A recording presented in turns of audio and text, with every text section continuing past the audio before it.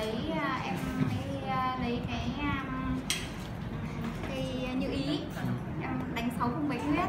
Xong bắt đầu em lấy ngải cứu em hơ cái hình hai bàn tay trụ lại đấy. À, và thế khoảng 5 phút thì anh ấy thấy nhẹ đỡ xong lại ăn cơm được bình thường đau đau răng như nào chị?